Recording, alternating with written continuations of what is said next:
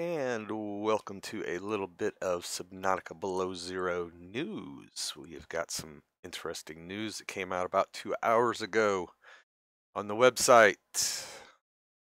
See, if you guys go to the unknownworlds.com, you will find the link.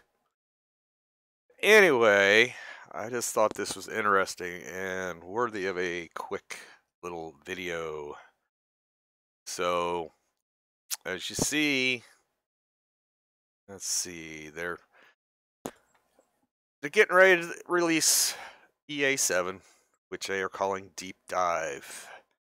But what is real interesting here is, let me read down here a little bit farther. They are deciding to change up the story. It says, in deciding to change up the story, we knew we had to work with the constraints of the current world. Sector 0 of 45, 46B, from Twisty Bridges to Crystal Caverns, from the Arctic Spires to the Deep Lily Pads. It's all basically going to stay the same, it's saying. If anything, they'll have more time to really work on the details of the world. They're going to make it a little richer, more beautiful spaces to explore. And then we get down here a little bit more. Um, also, when we sense that there's a true love for certain things from the community, we'll look to preserve or, or better yet, improve those parts of the game. Uh, basically, they're talking about how everybody loves uh, Marge, Marguerite, and Al-An. They're not going anywhere. Those two will definitely be staying in the game.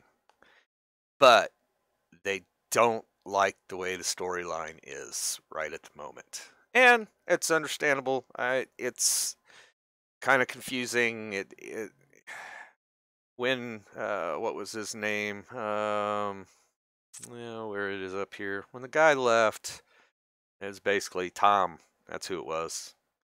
When Tom left, uh, basically Subnautica Below Zero left. Uh, th these were all his ideas. They they do have a new uh, writer, Jill Murray. She's done work on let's see, Tomb Raider and Assassin's Creed. So I th think they're basically going to use her and rewrite the whole story. I, I don't know. Not sure what's going on now. But you guys can check the link out. Uh, Unknown Worlds, Subnautica, Future Below Zero story. You'll see it. It's first link when you click on the uh, thing. But I just thought I'd post that little quick video. I think we probably will do a stream tonight just to run through some of the new stuff that we have got in the last couple days. Nothing amazing, but we'll uh we'll probably have one just to just to go over some stuff to maybe discuss this a little more. Anyway, hope y'all enjoy your day and uh we'll see you later on tonight. Y'all have a good one. We'll see you on the next.